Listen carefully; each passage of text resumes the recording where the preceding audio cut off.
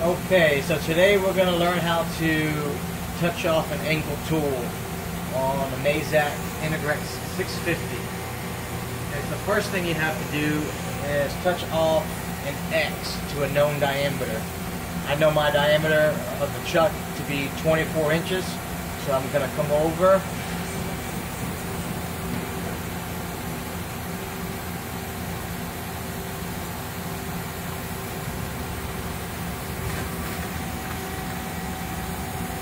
touch off.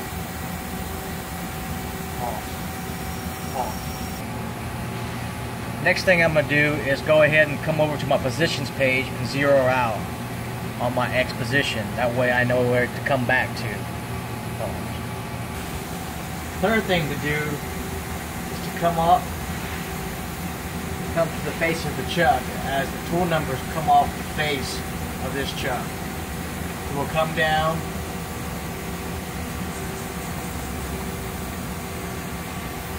touch off face.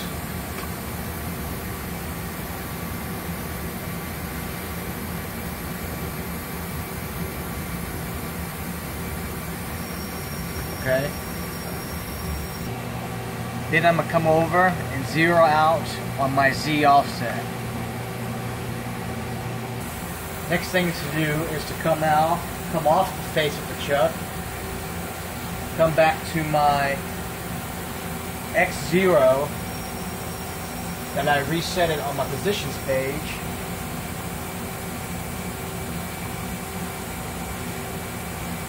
And then come back to my Z0 that I positioned on my that I zeroed out on my positions page. Then we come over to tool data, tab key over,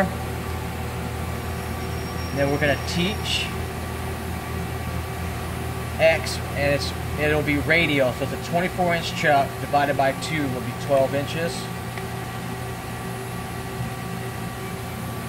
Input, and then it'll skip over to teach Z at the same time. Once you teach Z, you'll be teaching Z at Z0, which is chuck face. And then you hit calculate. That's all there is to it.